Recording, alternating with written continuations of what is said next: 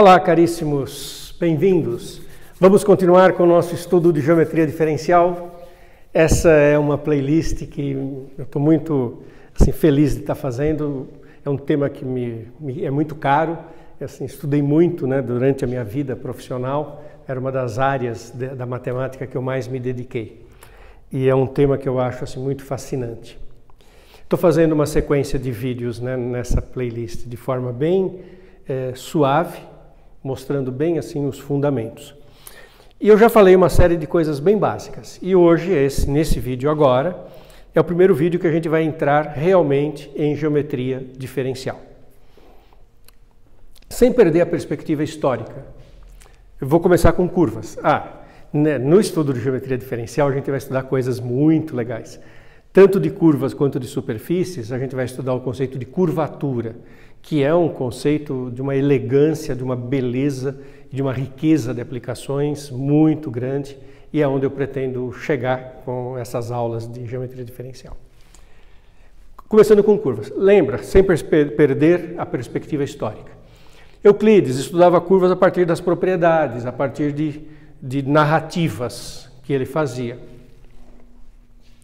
Daí eu mostrei com geometria analítica, quando aparece sistema de coordenadas a tradição Descartes, de Descartes, de Fermat. Usando o sistema de coordenadas, as curvas a gente passa a estudar via equações. Tem a equação vetorial, tem a equação geral, mas principalmente equações gerais, que descrevem, em termos de um sistema de coordenadas, aquelas propriedades que Euclides descrevia. Em geometria diferencial, a grande palavra são as parametrizações. É, a definição que eu escrevi aqui é só para dar assim, uma coisa bem, um exemplo bem real para vocês. Eu peguei um dos livros mais clássicos de geometria diferencial que tem no Brasil, que é o, o primeiro livro, o mais fininho, do Manfredo Perdigão do Carmo. Foi um dos maiores geômetras que o Brasil já teve, professor no INPA. E o Manfredo escreveu esse primeiro livro, né, Elementos de Geometria Diferencial, que é um livro meio fininho em português. Tem uma coisa curiosa né, nos livros do Manfredo, porque mais tarde ele escreveu um volume bem mais completo, que é bem mais grosso, e que ele escreveu em inglês e já foi publicado originalmente em inglês. E em português, a gente, esse livro existe hoje, mas ele em português é uma tradução, embora o autor seja o Manfredo, que é um brasileiro, né? Se não me engano, ele é de Alagoas, se eu não estou fazendo confusão. É, então eu fui olhar o livro do Manfredo. E a definição é essa: olha, uma curva parametrizada, já começa com a palavra parametrizada. No R2 podia ser no R3, isso é só colocar uma coordenada a mais. É uma aplicação diferenciável que vai de um intervalo na reta até o R2. Olha, o cálculo chegou chegando. O cálculo entrou com tudo. Geometria diferencial, ela traz para dentro do estudo da geometria todas as riquezas e ferramentas do cálculo. E a palavra diferenciável já está aqui, derivada. É... Ah, uma, um comentário sobre a palavra aplicação. É meio, muito curioso isso. É, em matemática tem um, uma palavra que serve para todo tipo de função, que é função. Função pode ser para qualquer tipo de conjunto. Mas os matemáticos gostam de usar palavras diferentes em, dependendo do tamanho dos domínios. Então, essa palavra aplicação é muito usada quando a função chega no RN. É, quando é do RN na reta, muitas pessoas usam mapa, outras pessoas usam transformação. É, bom, então tem um monte de palavras. Eu tenho o hábito de chamar tudo de função. Mas como eu peguei o livro do Manfredo, eu estou usando a palavra que ele usa. Ele usa a palavra aplicação, que é sinônimo de função e que é muito comum quando vai de uma dimensão baixa para uma dimensão alta. Então, uma curva já começa com a palavra dizendo que é uma parametrização. Uma curva parametrizada é uma aplicação. E olha outra sutileza. Para Euclides, uma curva era o conjunto de pontos que tinham uma propriedade. Na tradição descartiana, uma curva é o conjunto dos pontos que, num certo sistema de coordenadas, satisfazem uma equação. E na tradição da geometria diferencial, é uma aplicação, é uma função, não é um conjunto de pontos. é o cálculo que, como eu disse, chegou chegando, já mudou totalmente o jeito de trabalhar. A curva é uma função, não é um conjunto de pontos. Já vou explicar. O conjunto de pontos é o traço. Diferenciável quer dizer o seguinte, que as funções componentes, já vou dar exemplos numéricos, né, o x de t e o y de t, são elas próprias funções deriváveis ou diferenciáveis. E aqui já tem uma outra coisa que é típica do cálculo. Eu posso ter é, diferentes níveis de diferenciabilidade. Eu posso estar interessado em estudar curvas que sejam apenas contínuas, ou que sejam deriváveis uma vez ou duas vezes, ou que sejam deriváveis R vezes com as derivadas contínuas. Bom, e tudo isso você expressa no que a gente chama classe de diferenciabilidade, que é uma coisa típica do cálculo. Então, para dar um exemplo concreto disso. Quando eu falei da tradição euclidiana, eu mostrei que uma circunferência venha descrita em palavras. Quando eu falei de geometria analítica, circunferência tem lá uma equação geral. Então, agora eu vou mostrar na geometria analítica, na, desculpe, na geometria diferencial, como é que a gente fala na circunferência de centro AB e raio R. Opa, tem coordenadas aqui? Sim. o cálculo diferencial ele é feito em cima da ideia de funções. Funções, a gente trabalha como funções que vão do domínio real ou com mais dimensões, num domínio real ou mais dimensões. E tudo isso a gente está sempre trabalhando em sistemas de coordenadas. Então, nenhuma surpresa que aqui a gente está, é, a cada passo, a gente agrega coisas. Né? A, a tradição da geometria analítica não anula a euclidiana ela acrescenta coisas. A geometria diferencial não vai anular a geometria analítica, ela vai acrescentar as funções. Sabe como é que eu parametrizo a circunferência de centro no ponto AB e raio R? Através de funções, que são as parametrizações. E a parametrização é A mais R cosseno T B mais R seno T, com T num intervalo, que pode ser a reta real inteira, pode ser o intervalo 0,2π. 0,2π garante uma volta nessa circunferência. Vou abandonar lentamente né, a geometria analítica, mas um último ainda apelo. Na geometria analítica, a equação da circunferência era assim, x menos a ao quadrado, y menos b ao quadrado igual a r ao quadrado. Circunferência de centro no AB e raio R. Observe que a minha curva parametrizada, se eu passar o a para lá e o, y, o b para lá, fica x menos a, y menos b, r cosseno, r seno. Então, x menos a, y menos b, se eu tomar o quadrado, o quadrado, vai dar R2 cosseno quadrado, R2 seno quadrado, R2 em evidência, relação fundamental, R2. Então, isso satisfaz tudo que estava lá na geometria analítica básica. Essas funções são deriváveis, isso é uma parametrização, isso é a circunferência na visão da geometria diferencial. Você fala, mas então a circunferência agora é a função, é a função. Não, mas e, e os pontos? Ah, os pontos na geometria diferencial chama traço. É a imagem. Traço de gama. É gama calculada no intervalo i. É o conjunto imagem. Onde é que o i foi parar? O que aconteceu com aquele i? A parametrização jogou o i no R2, no R3. Pronto. É, a imagem é o chama traço. Eu já vou falar mais do, do tra o traço dessa, dessa curva é a circunferência. Tá? E isso é de uma riqueza enorme. Deixa eu ainda então agora fazer mais comentários sobre isso. Quando eu escrevo essa fórmula, eu ganhei o conjunto de pontos, mas eu ganhei mais do que o conjunto de pontos. E eu vou começar a discussão por esse aspecto. Aqui está o centro AB, um raio R, e aí eu tenho uma circunferência de centro no AB e raio R.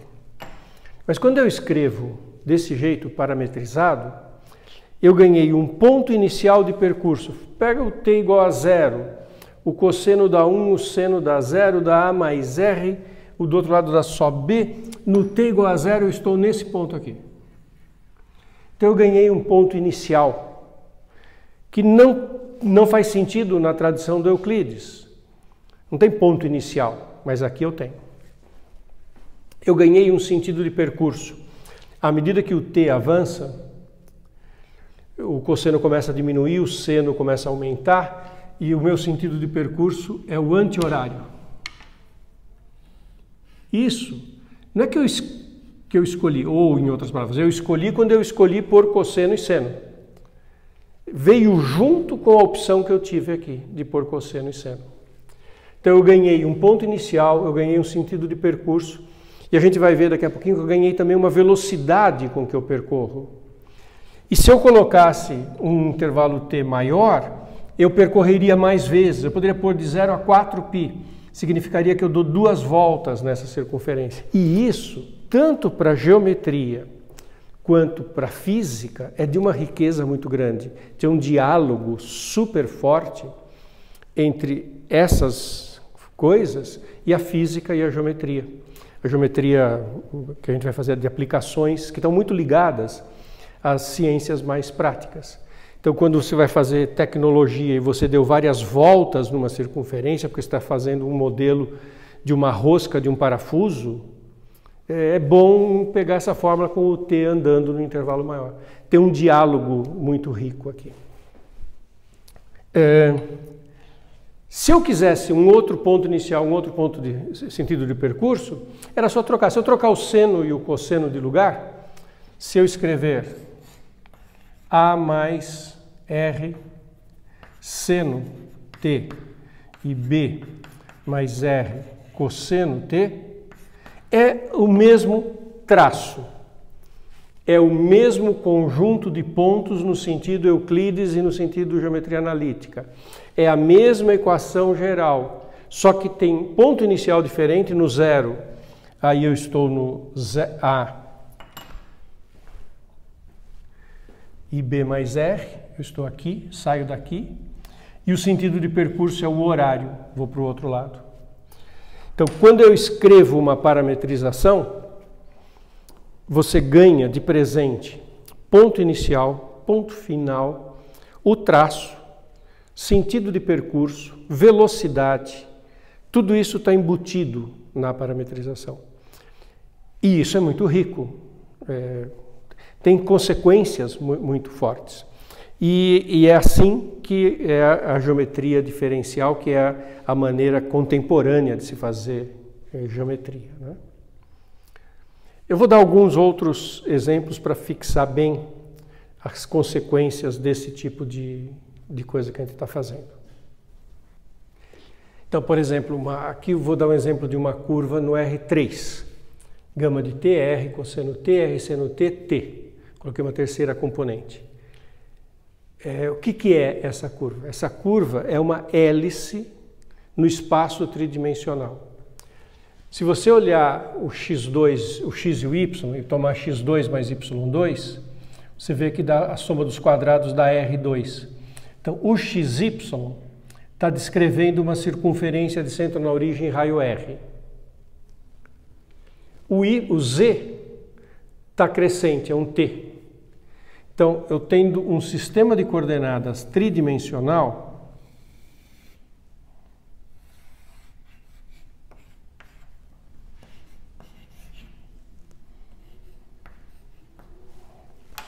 essa curva curva função, né? Ela tem o traço, olha como eu estou assimilando a linguagem. O traço são os pontos, é o conjunto imagem, né? O traço, ele habita um cilindro vertical de raio R. Porque o x2 mais y2 é R2, isso é uma circunferência de centro na origem raio R, mas o z sobe com t. Ele começa no ponto quando t é zero. Bom, eu peguei t igual a r, então ele tem o lado de cima e o lado de baixo. Vamos olhar a partir do zero. No t igual a zero, eu tenho x igual a r, y igual a zero e z igual a zero. Ele sai daqui. E daí, à medida que o t vai aumentando, o x e o y vão percorrendo a circunferência e o z vai subindo. E isso vai fazer uma hélice que vai ficar todinha dentro deste cilindro de raio R e no 2π eu completei uma volta quando eu olho no XY. Quando eu chego em 2π, eu dei uma volta inteira em termos de XY e já estou no ponto de altura z igual a 2π. olhando de baixo, eu dei uma volta e subi 2π. Essa parametrização é a parametrização de uma hélice que tem um, uma velocidade de aumento constante que ela sobe na vertical o mesmo tanto que o t varia na, no domínio. Para cada 2π, ela faz um espaçamento de 2π. O espaçamento entre os vários anéis dessa hélice é de 2π. Tá? Entre dois pontos que têm o mesmo xy, o z varia de 2π.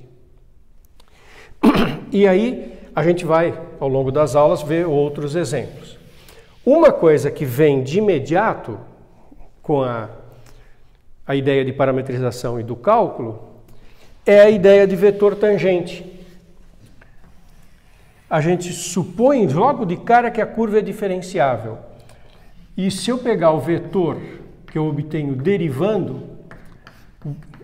Ah, parênteses.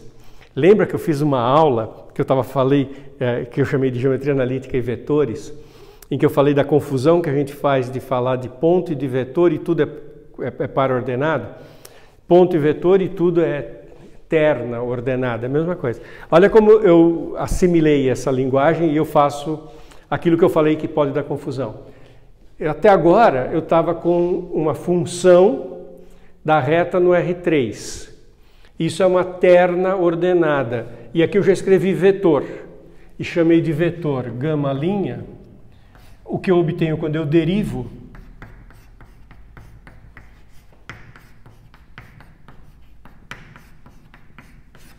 Então, é, eu trouxe o cálculo para dentro da sala, peguei funções deriváveis e quando eu derivo eu obtenho uma expressão com as derivadas, é o vetor tangente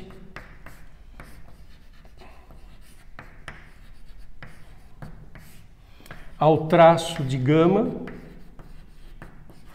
Olha o jogo de palavras, ele é tangente ao traço no ponto gama de t.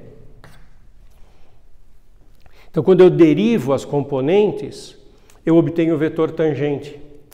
Então, por exemplo, essa curva aqui, olha que coisa bonita.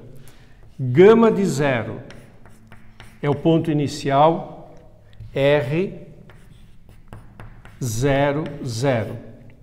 Gama linha de um certo T genérico é menos R seno T, R cosseno T, 1. Eu obtive o gama' derivando as funções. Esse vetor é tangente, gama' no zero é 0, 1, 1. Observe que o 1 ficou constante. E juntando tudo isso, eu tenho a reta tangente, que eu também falei disso numa aula sobre equação vetorial da reta tangente. Então, reta tangente.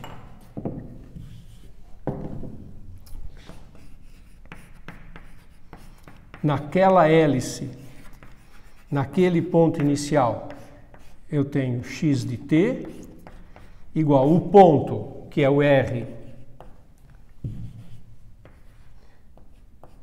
zero, zero, mais lambda vetor tangente 0, 1, 1. Desculpe, eu errei aqui. Aqui é quando eu derivo derivada de r seno é R cosseno e quando eu calculo no t igual a zero dá R. Eu coloquei 1 aqui, mas não, é R. Então aqui é R. Então a equação da reta tangente é R, 0 mais lambda R e lambda. Então a reta tangente a esta hélice neste ponto, olha que interessante, o x dela é constante igual a r, significa, o fato do x ser constante, significa que a reta tangente está dentro deste plano, apoiado neste plano que é x igual a r. A tangente passa por aqui. Ela tem um y que vai aumentando, lambda r, e o z que é lambda. Então o, o y tem um certo valor, que é lambda r, né? Na verdade, ele é constante, r é constante, para cada lambda é um valor. E o z também aumenta. E essa reta, que está aqui nesse plano, que é a reta tangente a esta hélice, neste ponto. E vocês percebem que a, a, o fato de que o cálculo chegou, ele agora traz todas as ferramentas do cálculo para o estudo das curvas. Próximo vídeo, eu vou parar para discutir o seguinte: eu fiz reta tangente aqui, mas eu tive sorte, né? Porque o vetor tangente não deu 0, 0, 0. O que acontece se o vetor derivada dá o vetor nulo? Aí não tem vetor para fazer a reta tangente. Aí quebra minhas pernas, eu não consigo fazer a reta tangente. Isso vai levar ao conceito de curva regular, que são aquelas curvas que têm reta vetor tangente diferente de zero. Então isso vai ser um, um estudo. Isso vai levar à noção de comprimento de arco, que também a gente vai fazer esse estudo. Mas cada um desses é um bloquinho que a gente vai parar para pensar. Este vídeo é para introdução, né, para introduzir para vocês, apresentar para vocês como é que muda a maneira de olhar curvas quando a gente introduz o cálculo. O cálculo chegou. Tá legal? Ficamos por aqui.